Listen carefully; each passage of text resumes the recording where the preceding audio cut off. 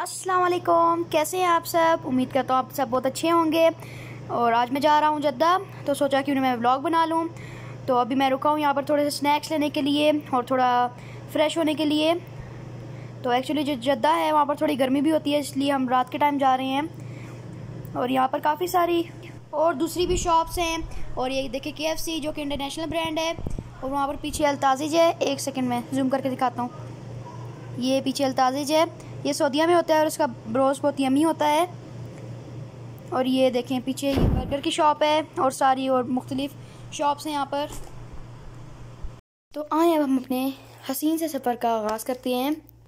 और आगे जो माशाल्लाह कुरान का स्टैचू आ रहा है तो इसको हम ये भी कह सकते हैं गेट ऑफ़ मक्का या फिर अरबी इसको कहते हैं बवाबल मक्का। और रात में तो इसका व्यू और भी प्यारा होता है क्योंकि इसके ऊपर लाइटनिंग हुई हुई है green and white and it was built in 1979 और अभी यहाँ पर बहुत ठंडी हवा चल रही है वेदर बहुत अच्छा हो रहा है। और हमें ऐसे बहुत कम देखने को मिलेगा कि जद्दा में बारिश हो रही है या फिर जद्दा का वेदर बहुत अच्छा है, क्योंकि जिस तरह पाकिस्तान में कराची है, उस तरह यहाँ पर जद्दा है। तो समंदर की वजह से यहाँ का टेम्परेचर जो है वो थोड़ा हाई रहता है। और आगे भी आ रहा है। देखें इसके नीचे भी प्यारी सी लाइटनिंग हुई भी है और सारी इसके नीचे टाइल्स लगी हुई हैं। ये देखें, नीचे भी लाइटनिंग हुई हुई है और सारी टाइल्स हैं। काफ़ी सारे लोग इससे बहुत इंप्रेस होते हैं कि बहुत दिलकश स्टैचू है ये। ये और ये आगे देखिए आर्मी के ट्रक्स जा रहे हैं। बिल्कुल एक स्ट्रेट लाइन में जा रहे हैं। और जो रेगुलर ट्रक्स हैं आर्मी के ट्रक्स हैं, या फिर पुलिस ट्रक्स हैं, जो भी हैं उन पे ये ऑरेंज लाइट लाजमी होगी है। और अभी हम लोग मक्का जदा हाईवे पे पहुँच गए हैं और ट्रक्स के लिए तो बेस्ट रूट है क्योंकि रोड बहुत खुली है और जद्दा जो है इस रोड से बहुत नज़दीक पड़ता है। और फाइनली अब आधे घंटे का सफ़र रह गया है और मैं बहुत इंजॉय कर रहा हूँ सफ़र। और अभी मैं सफ़र को बहुत इंजॉय कर रहा हूँ क्योंकि पहले ही हम लोग जद्दा आते हैं, बहुत एक्साइटमेंट होती है। काफ़ी सारे लोग जो हैं जद्दा का रुख करते हैं क्योंकि यहाँ पर बहुत खूबसूरत है जद्दा और ये आगे देखे ग्रीन लाइटिंग हुई हुई है। ये हर अपनी नेशनल डे पर चेंज करते हैं लाइटनिंग और पूरे सऊदिया में ऐसे करते हैं वाइट एंड ग्रीन लाइटनिंग और इधर देखिए, काफ़ी सारा यहाँ पर रश हुआ है, बहुत रश है यहाँ पे। पार्किंग हमें बहुत मुश्किल से मिली है। ये हमारी गाड़ी हमने लगा दी है।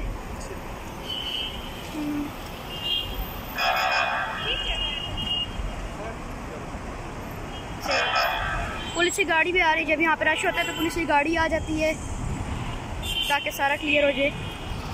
इधर देखिए काफ़ी सारी गाड़ियाँ हैं। फंसी हुई हैं सारी गाड़ियाँ।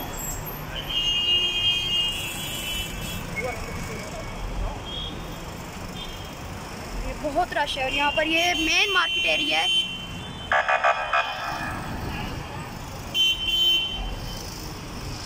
ये टॉय शॉप सब कुछ है रेस्टोरेंट्स मोबाइल शॉप सब कुछ। बेकरी और वहाँ पर इतनी नॉइस थी कि मुझे अभी इसके ऊपर वॉइस ओवर करनी पड़ी है। और अभी यहाँ पर बहुत गर्मी और ये रास्ते में तो इतनी गर्मी नहीं थी, मगर पता नहीं यहाँ पर क्यों इतनी गर्मी है। और यहाँ के जद्दा के लोग तो यूज़ टू हैं इसके, मगर जो यहाँ पर हम रहते हैं ताइफ तो वो जिस तरह पाकिस्तान में मरी है तो उस तरह यहाँ पर ताइफ है। और इधर जद्दा में पाकिस्तानी कम्यूनिटी भी काफ़ी ज़्यादा रहती है। जद्दा में बल्कि यहाँ पर पूरी जो सऊदिया में रेस्टोरेंट्स है पाकिस्तानी तो उनमें सिर्फ़ पाकिस्तानी लोग ही नहीं बल्कि और भी कंट्रीज़ के लोग रुक करते हैं।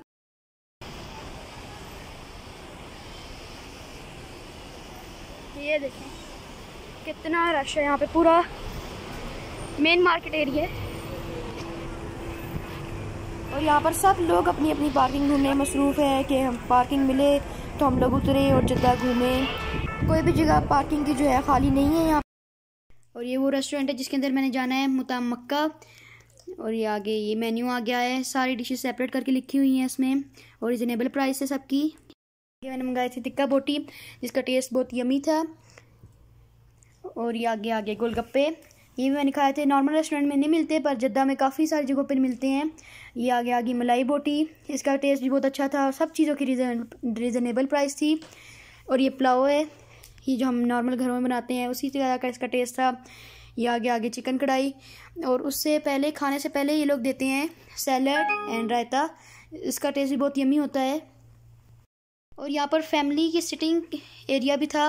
और पर जो लोग अकेले आते हैं लाइक जेंट्स तो उनके लिए भी सेपरेट बना हुआ था। और ये हॉल है, इस तरह कोई मैरिज या कोई फ़ंक्शन और फाइनली मैं रेस्टोरेंट के अंदर आ चुका हूँ। शुक्र है यहाँ पर फ़ैन लगे हुए हैं और एसी लगे हुए हैं। तो गर्मी थोड़ी कम फील हो रही है। और यहाँ पर देखें, मेरे पीछे बिल्कुल पाकिस्तानी स्टाइल पेंटिंग हुई हुई है। ये देखें, बिल्कुल गाँव का जो स्टाइल होता है, वो दिखाया हुआ है यहाँ पर। बहुत प्यारी पेंटिंग है। ये हैंड पेंटेड है। ये देखें यहाँ पर झूले ले रहे हैं। और अब हमारे जो एपेटाइज़र आ चुके हैं, ये सलाद है और साथ रायता है। बहुत यमी है ये। और उसके बाद अभी थोड़ी देर हमें वेट करना पड़ेगा खाने के लिए।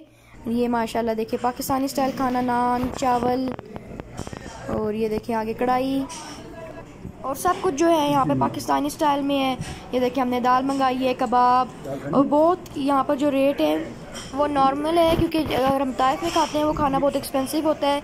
ये देखें बहुत मज़े का है खाना। ये आगे हमने डेजर्ट मंगाया था गुलाब जामुन। और ये भी बहुत टेस्टी थे इन्होंने फ्रेश बनाए थे। डेली फ्रेश बनता है। खाना तो हमने खा लिया था तो अब मैंने सोचा कि क्यों ना थोड़ी शॉपिंग की जाए। और मैं अपनी यहाँ पर जीन्स और शर्ट लेने आया हूँ। यहाँ पर स्टफ़ जो है, चीज़ों का बहुत अच्छा है और प्राइस भी रिजनेबल है। कोई बहुत ज़्यादा एक्सपेंसिव नहीं है, क्योंकि जद्दा में जो है सारी चीज़ें डायरेक्ट आती हैं। और यहाँ पर हर तरह के शूज़ लगे हुए हैं सैंडल्स हैं और हर एक कंट्री से आते हैं डिफरेंट कंट्रीज़ से आते हैं। आपको जिस कंट्री के चाहिए तो वो यहाँ पर अवेलेबल होंगे और बिल्कुल रीज़नेबल प्राइस पे। और जो मटेरियल है, ये भी बहुत अच्छा है। बिल्कुल सब कुछ लेदर का बना हुआ है। और ये आगे मुझे जॉगर पसंद आ रहे हैं काफ़ी। और अब हम लोग एक और शॉप में आए हैं। यहाँ पे देखें, हर एक चीज़ लगी हुई है।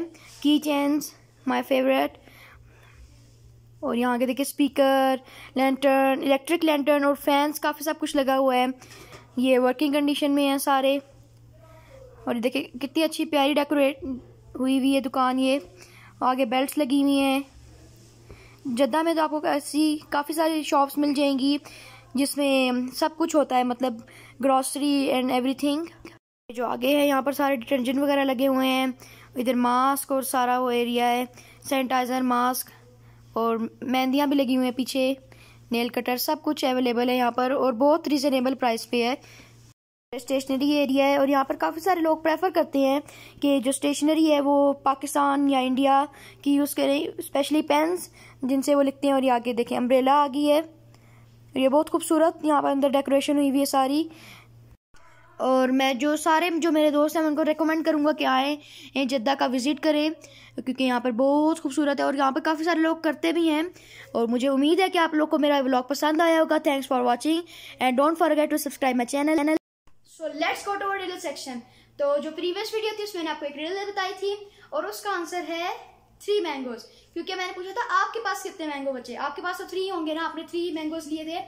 सो so, जो आज की रिडल है वो है एहसन की अम्मा के तीन बच्चे हैं। एक का नाम है इदरीस एक का नाम है गुलजार। और उसके तीसरे बच्चे का क्या नाम है? सोच के कमेंट सेक्शन में बताएँ। और अगर आपको आंसर नहीं पता चलता मैं अपनी नेक्स्ट वीडियो में रिवील करूँगा। और अगर आपको वीडियो पसंद आए तो लाइक शेयर करें। और मेरे चैनल को सब्सक्राइब करें। Thanks for watching